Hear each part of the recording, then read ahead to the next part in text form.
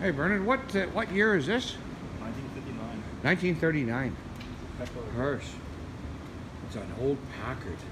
I know a guy in Canada's got a Packard, but it's American drive. You got the you got the British drive. Because think it's very slow. God, it, it, this is this is original for 1939 to your funeral. Wow. Uh, so You it to sell it, but Bell doesn't want to sell it. That's the end of- look at the front. Imagine getting hit by this thing. This is steel, man. Yeah, this is so- Something wrong with this motor. Just, just dead bird in there. Oh shit! You got So the cat must have had a.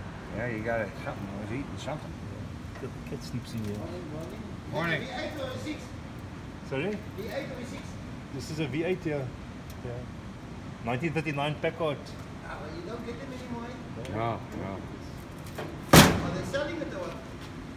They don't want to sell it, but uh, I want him to sell it.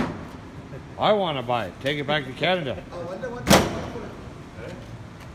I wonder what they want for it. These things will go for like 400,000. Big money. How's the motor look? Good. If you don't mind feathers. Yeah. Now the motors, there was a, had a, had a, had a knock on it, a bearing knock. Oh, Yeah. So it's Huge been standing, it's been standing here operation. for the last two years now. Huge. And it needs to be s- restored. It needs to go to somebody to restore it.